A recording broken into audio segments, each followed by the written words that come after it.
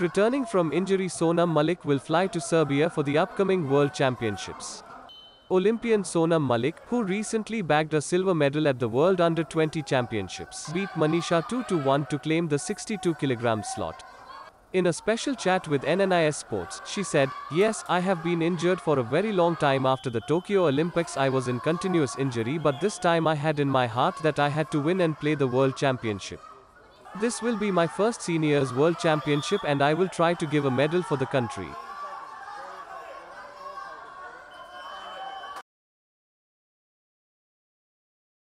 हाँ, बहुत अच्छा लग रहा है और कॉमनवेल्थ की ट्रेलों में साक्षी देश से हार गई थी और वापसी हुई है तो अच्छा लग रहा है अभी जूनियर खेल के आई हूँ तुरंत ही तो अच्छा लग रहा है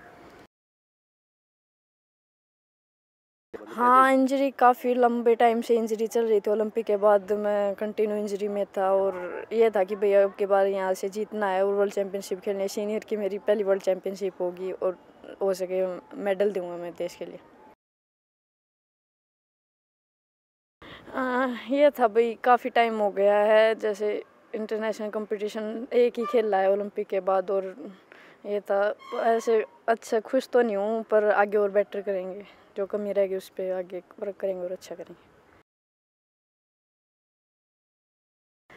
देखिए, जो जैसे मैं लड़ती थी पहले, वो अभी थोड़ा सा कम हो गया है। उस पर ज़्यादा फोकस करना पड़ेगा और अच्छा ही करेंगे आगे। हाँ देखिए, जापान है, जो मेरे वेट में ओलंपिक में सिल्वर मेडलिस्ट किर्गिस्तान थी, वो है, और ताइपे है, इनसे अच्छा कंपटीशन होगा और उनको देख के ही प्रैक्टिस करेंगे आगे और उनको हराने की कोशिश करें।